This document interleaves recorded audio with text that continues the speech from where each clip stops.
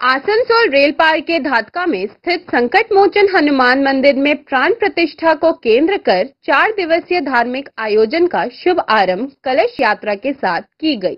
इस कलश यात्रा में 108 महिला व युवतियों ने कलश में पवित्र जल भरकर संकट मोचन हनुमान मंदिर तक पहुँचाया।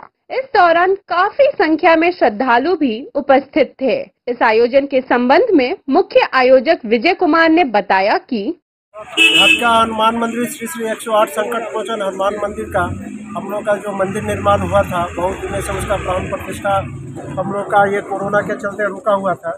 इस कारण से आज हम लोगों ने ये कार्यक्रम 24 तारीख से लेकर के 27 तारीख करने का निर्धारित किया था, जिसका आज पहला दिन है और उसी के उपलक्ष्य में आज हम लोगों ने ये कलश यात्रा का कार्यक्रम निकाला है और इसके साथ ही हमारे प्राण प्रतिष्ठा कार्यक्रम जो कि चार दिन चलेगा उसका आरंभ हो गया है। ये कार्यक्रम चार दिन तक चलेगा, चौबीस से सत्ताईस तारीख तक। चौबीस को होगा, पच्चीस को होगा, छब्बीस को होगा, सत्ताईस को भंडारा होगा और उस दिन इसका समापन होगा।